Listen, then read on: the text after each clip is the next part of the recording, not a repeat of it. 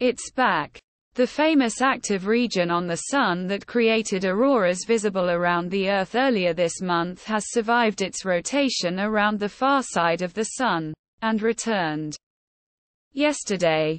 As it was beginning to reappear on the Earth-facing side, the region formerly labeled Arkansas 3664 threw another major solar flare, again in the highest energy X-class range.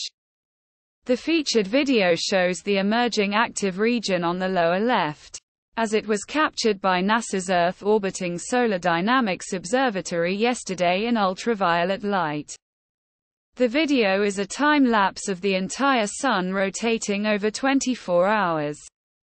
Watch the lower left region carefully at about the 2-second mark to see the powerful flare burst out.